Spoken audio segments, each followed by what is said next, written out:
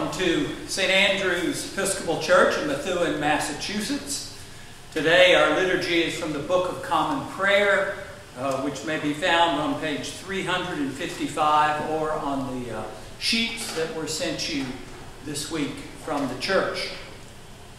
Whoever you are, wherever you are in your journey of faith, grace and peace to you in Jesus Christ. Blessed be God, Father, Son, and Holy Spirit. And blessed be God's kingdom, now and forever. Amen. Together, Almighty God, to you all hearts are open, all desires known, and from you no secrets are hid. Cleanse the thoughts of our hearts by the inspiration of your Holy Spirit, that we may perfectly love you and worthily magnify your holy name through Christ our Lord. Amen.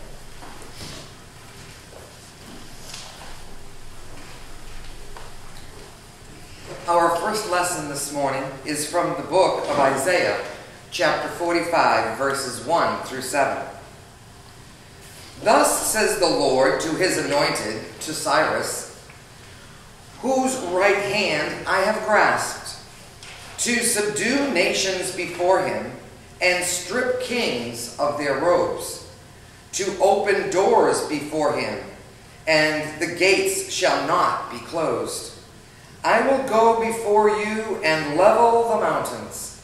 I will break in pieces the doors of bronze and cut through the bars of iron. I will give you the treasures of darkness and the riches hidden in secret places, so that you may know that it is I, the Lord, the God of Israel, who call you by your name. For the sake of my servant Jacob and Israel, my church, my chosen, I call you by your name. I surname you, though you do not know me.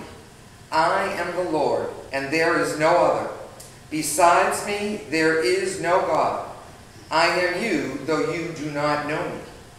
So that they may know from the rising of the sun and from the west that there is no one beside me. I am the Lord, and there is no other. I form light and create darkness. I make weal and create woe. I am the Lord, I, the Lord, do all these things. This is the word of the Lord. Thanks be to God. Our psalm this morning is Psalm 96, verses 1 through 9. We will read responsively, breaking at the asterisks. Sing to the Lord a new song. Sing, Sing to the Lord all the whole earth. Sing to the Lord and bless his name. Proclaim the good news of his salvation from day to day. Declare his glory among the nations and his wonders among all people. For great is the Lord and greatly to be praised. He He is more to be feared than all gods. As for all the gods of the nations, they are but idols. But it is the Lord who made the heavens. Oh, the majesty and magnificence of his presence. Oh, oh the power and the splendor of his sanctuary. Ascribe to the Lord, you families of the people. Ascribe to the Lord honor and power. Ascribe to the Lord the honor due his name. Bring offerings and come into his courts. Worship the Lord in the beauty of holiness. Let the whole earth tremble before him. A reading from Paul's first letter to the Thessalonians, chapter 1, verses 1 through 10. Paul, Silvanus, and Timothy, to the church of the Thessalonians, in God the Father and the Lord Jesus Christ, grace to you and peace. We always give thanks to God for all of you and mention you in our prayers constantly, remembering before our God and Father your work of faith and labor of love and steadfastness of hope in our Lord Jesus Christ. For we know, brothers and sisters, beloved by God, that He has chosen you, because our message of the gospel came to you not in word only, but also in power and in the Holy Spirit, with the full conviction, just as you know what kind of person we proved to be among you for your sake. And you became imitators of us and of the Lord, for in spite of persecution, you received the word with joy, inspired by the Holy Spirit, so that you became an example to all the believers in Macedonia and in Achaia. For the word of the Lord has sounded from you, not only in Macedonia and Achaia, but in every place your faith in God has become known, so that we have no need to speak about it. For the people of these regions report about us what kind of welcome we had among you, and how you turned to God from idols to serve a living and true God, and to wait for his Son from heaven, whom he, whom he raised from the dead, Jesus, who rescues us from the wrath that is coming. This is the word of the Lord. Thanks, Thank be you to God.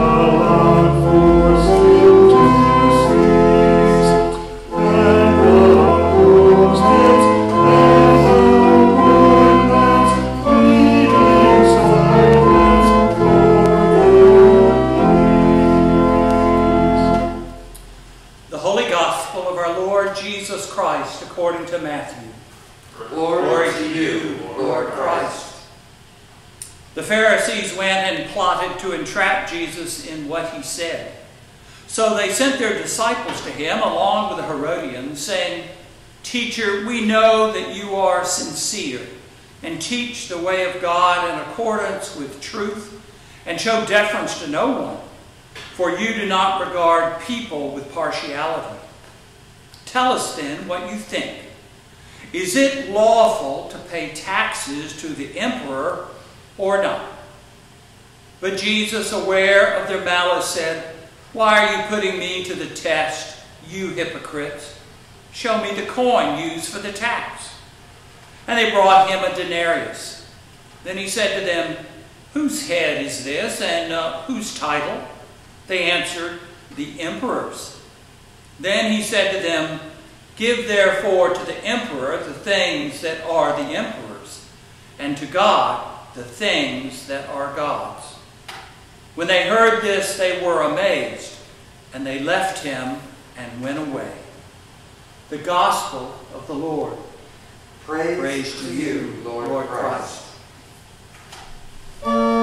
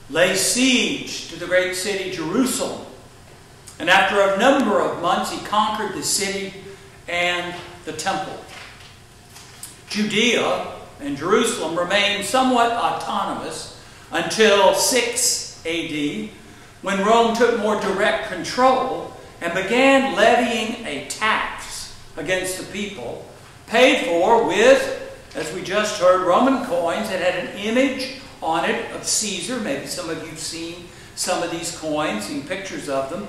And around the edge of the coin, it had the title of Caesar, which was Son of God, High Priest. Jews rightly saw this a direct violation of the commandment not to make any graven image, and certainly not of some so called pagan god or son of God. And, and of course, with the oppressing troops now in their land, there were numerous uprisings, which led, of course, to multiple crucifixions of Jewish rebels. Now, in order to get ourselves into the context of this encounter with Jesus in the temple about taxes, we, we have to go back just a little further, a little deeper than our own conflicted feelings. I'm assuming you may have a few conflicted feelings about the IRS and the taxes we all have to pay every year. We've got to go way beyond that. One place we could go, of course, living where we do, is the Revolutionary War. And we remember that famous phrase we learned in school no taxation without representation.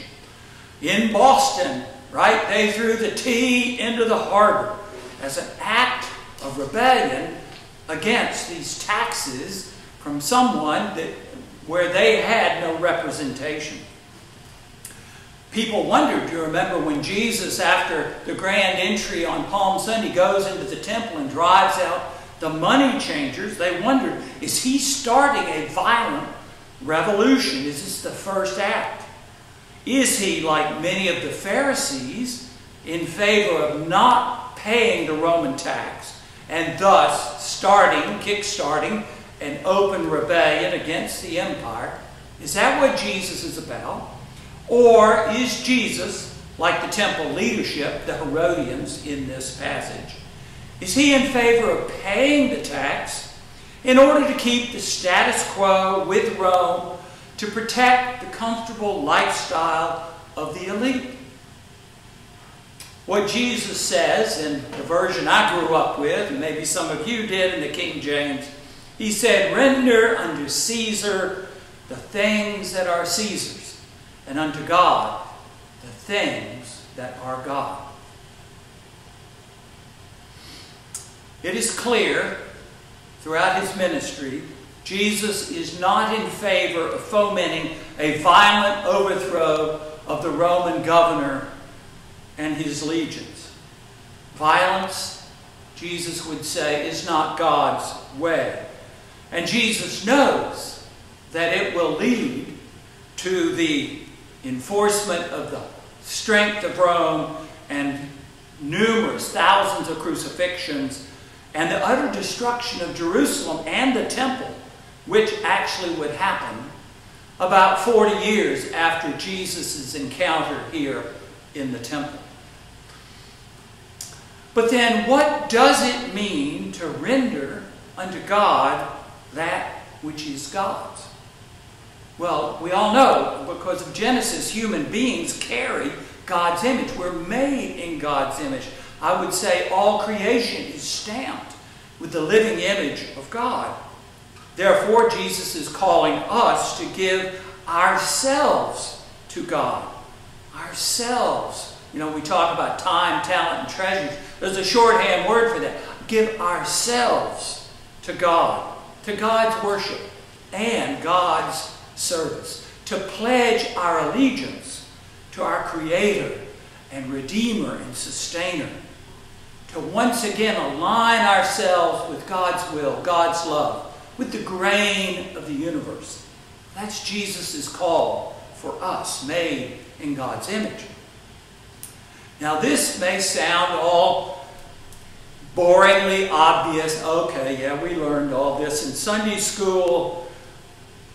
But I suggest it may take on a deeper meaning when we look at what happens through history of those folks who claim to be followers of Jesus, yet pledge their allegiance not to the God and Father of Jesus, but to some other image, some other blended image of God. One example, which is ready in front of us Nazi Germany.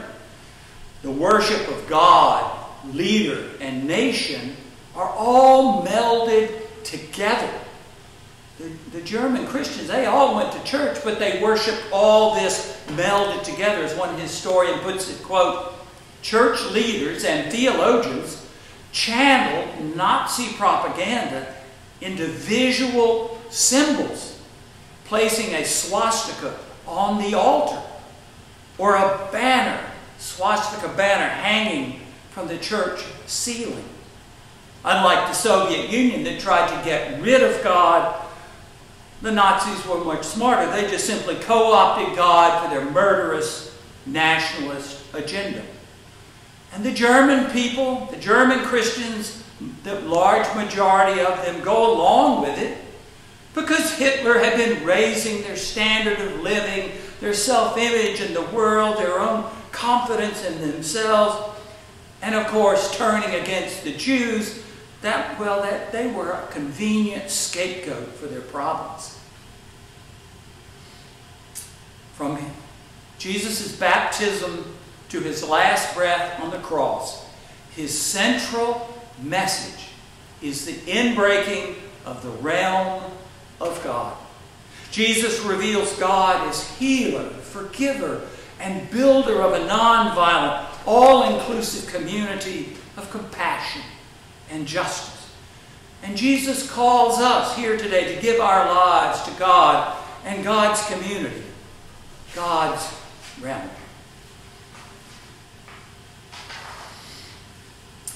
This means, though we may be tempted, this means, you know, just running to the hills or to another country where they don't have unrest and the coronavirus like we do, and letting our, our country just burn up, literally and figuratively, to just run away is not an option for those who follow Christ.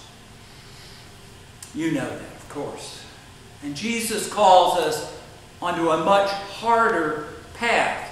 It's called the way of the cross, the way of selfless service in Christ to build communities of hope. I was listening last fall, seems like a long time ago now, last fall to an interview with Brian McLaren. Many of you may know him. He was a, a leader in transforming faith and in the emerging church. And he said there are three kinds of hope people are holding. The first he called cheap hope. Cheap hope. These are the folks who think everything's going to be okay. Just relax. Things will automatically return to how they've always been. Therefore, the good news is there's nothing we need to do. So just relax, sit back, be passive.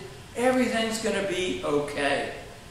They think the pandemic and climate crisis and racial injustice and our political unrest will automatically calm down like a hyperactive child at the end of the day, you know, just finally runs out of energy and falls asleep. Cheap hope. Then on the other side of the spectrum is what he calls dead hope. Dead hope. These folks believe everything is just completely hopeless. Everything is going to get much worse.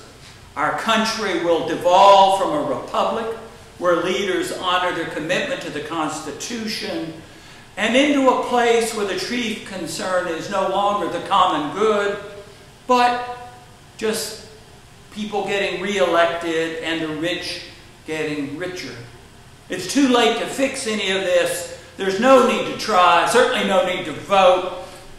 Dead hope.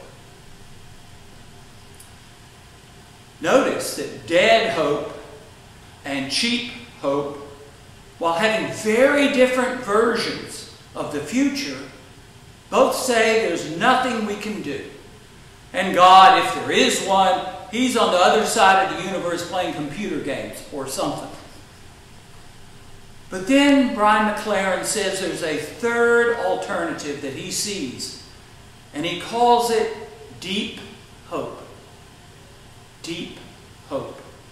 Deep hope sees and acknowledges the severity of our medical and political and cosmic situation.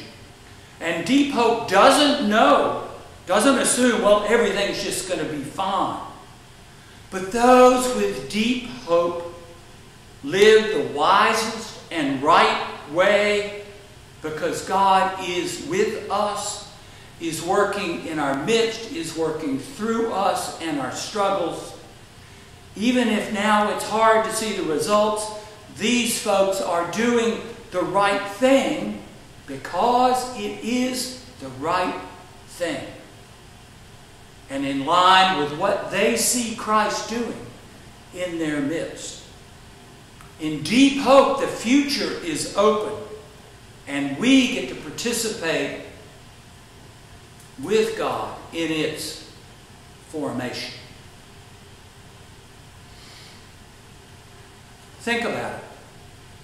Nothing could have been more hopeless than that Friday afternoon when Rome crucifies Jesus.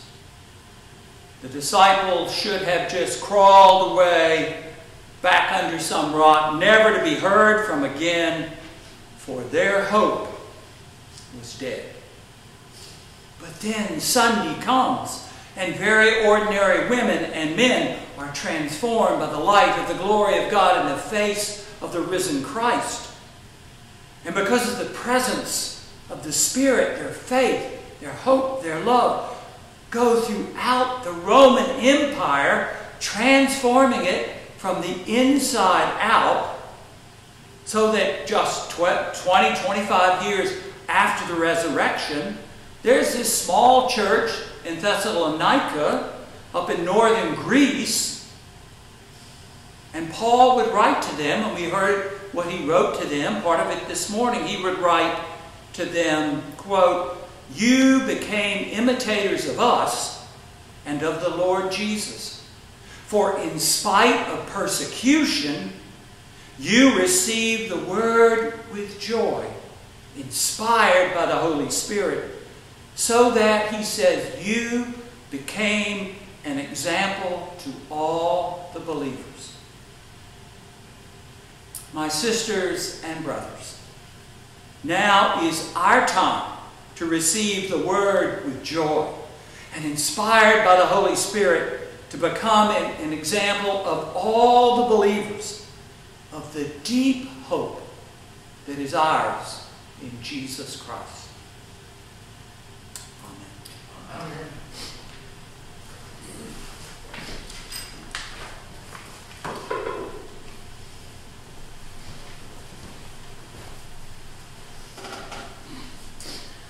Let us profess our faith in the words of the Nicene Creed.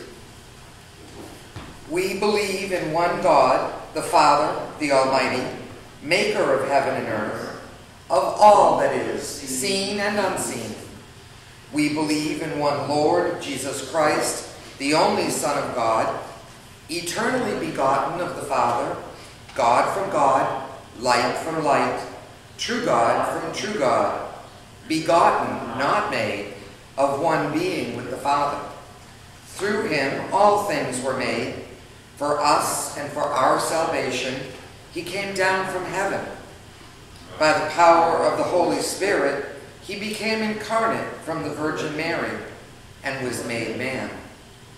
For our sake, he was crucified under Pontius Pilate. He suffered death and was buried. On the third day, he rose again in accordance with the Scriptures.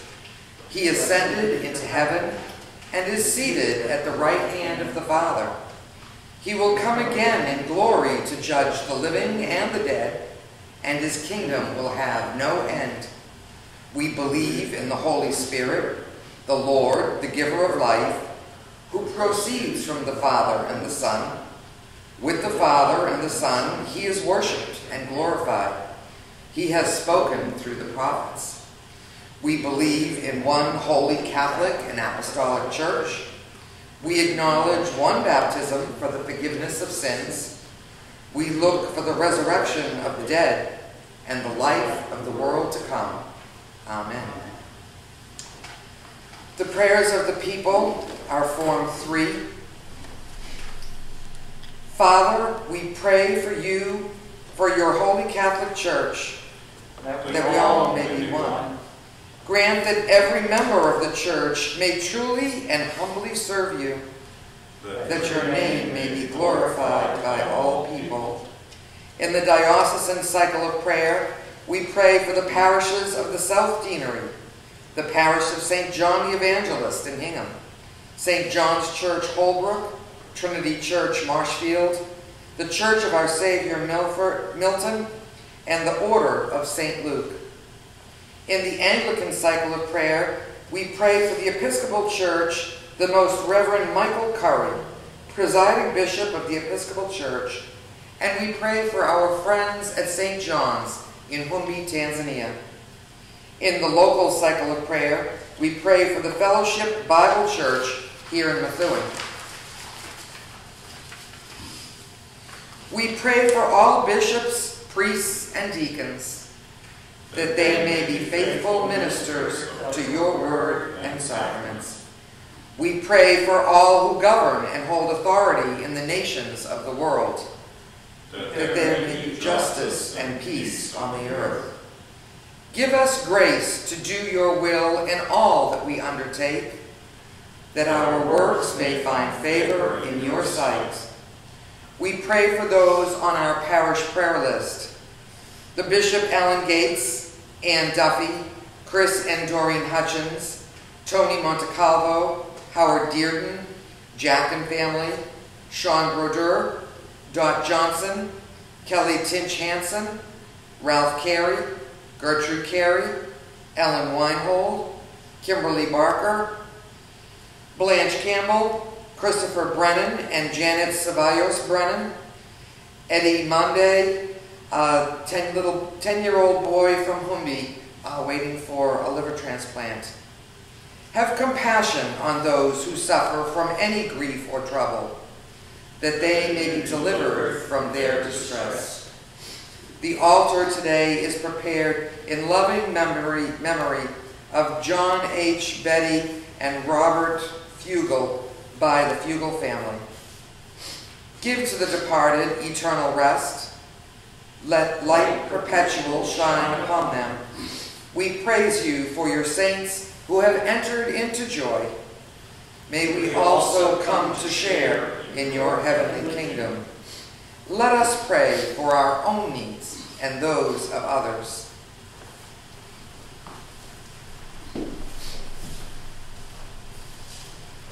Hasten, O Father, the coming of your kingdom, and grant that we, your servants who now live by faith, may with joy behold the realm of God in Jesus Christ our Lord. Amen. Amen. Let us confess our sins against God and our neighbor.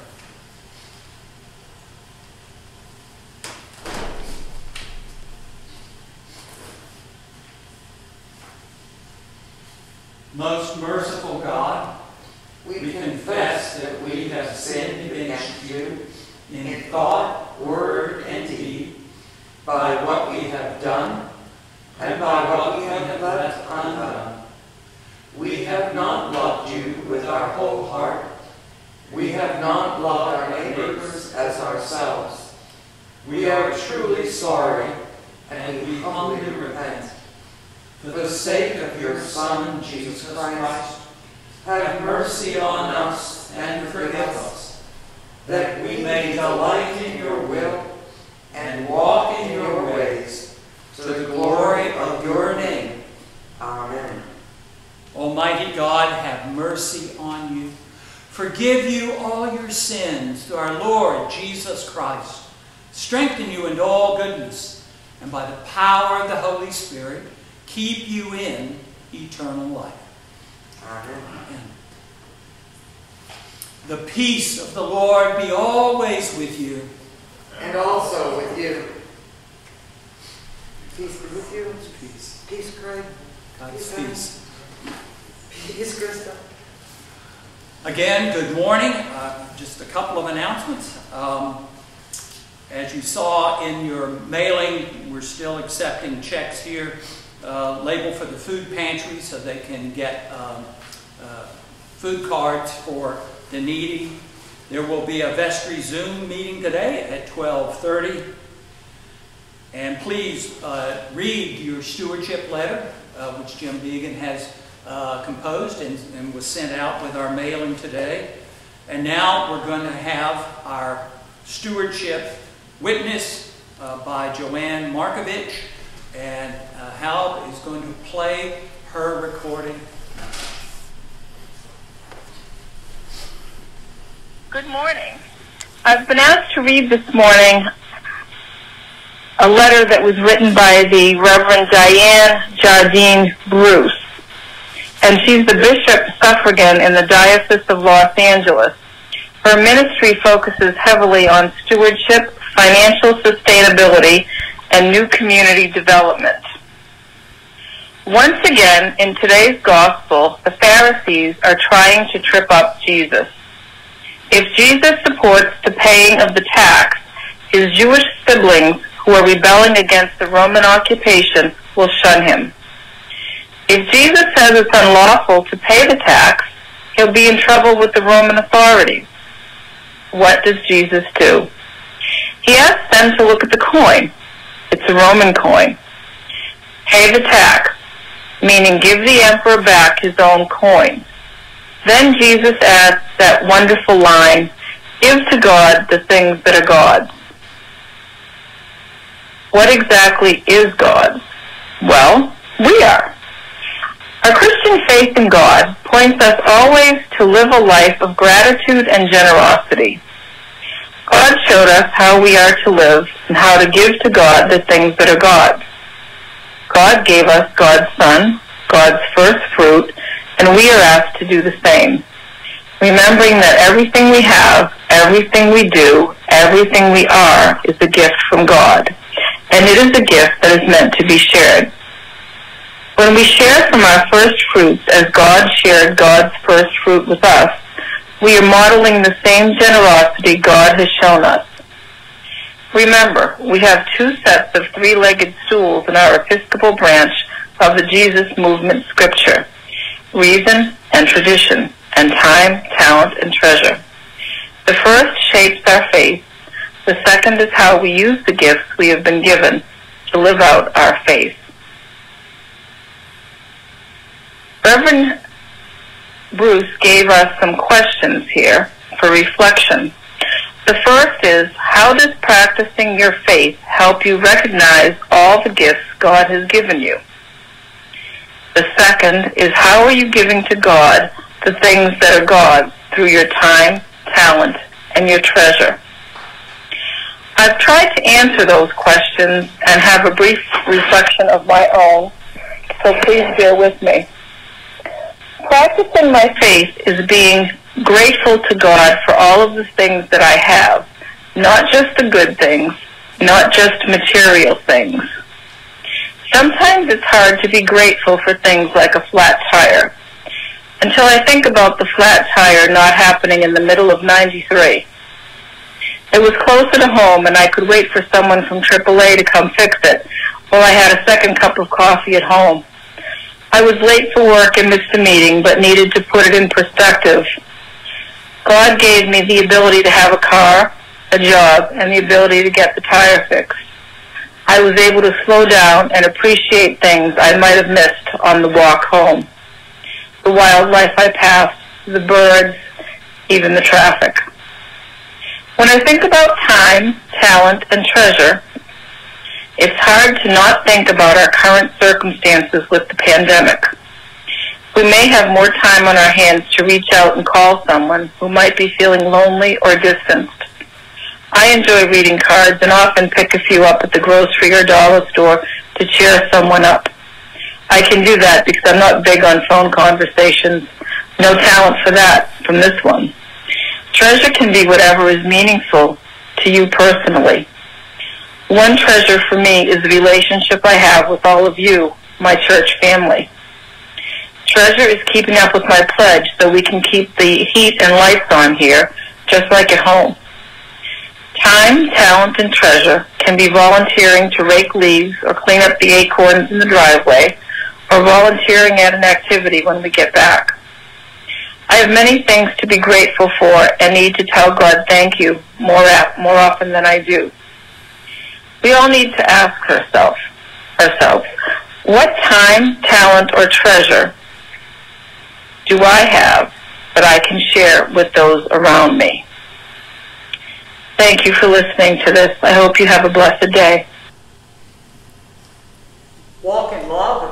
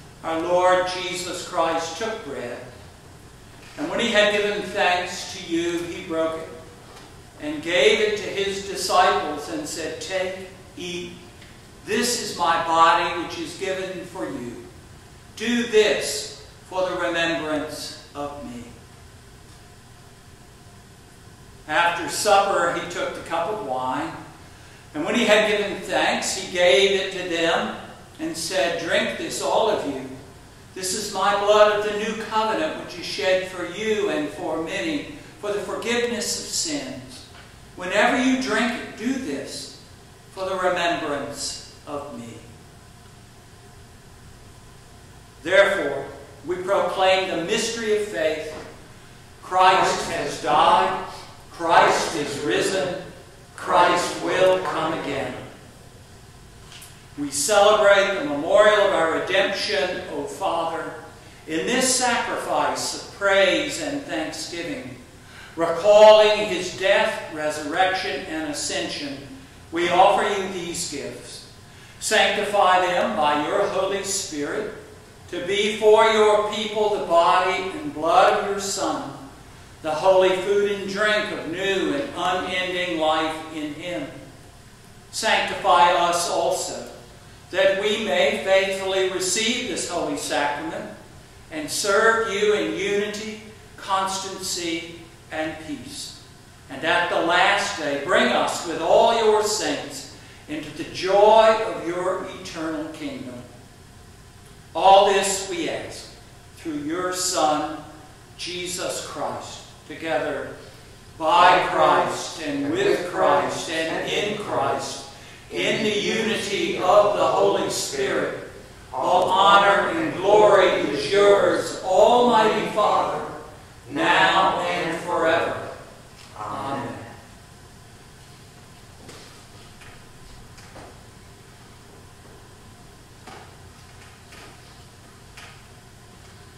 And now, as our Savior Christ has taught us, we are bold to say, Our Father, who art in heaven, hallowed be thy name. Thy kingdom come, thy will be done, on earth as it is in heaven. Give us this day our daily bread, and forgive us our trespasses, as we forgive those who trespass against us. And lead us not into temptation, but deliver us from evil. For thine is the kingdom, and the power, and the glory, forever and ever. Amen.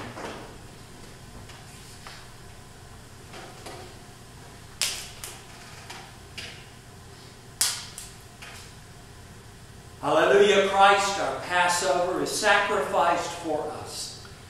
Therefore, let us keep the feast. Alleluia.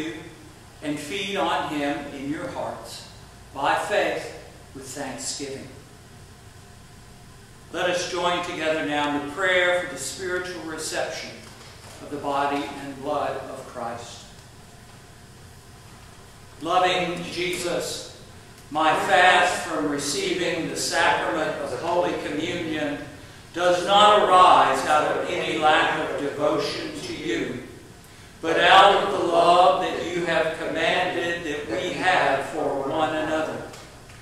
Since I cannot now receive you sacramentally, I beseech you to unite myself to you spiritually, together with all your faithful people, and that I might embrace you with all the affections of my soul.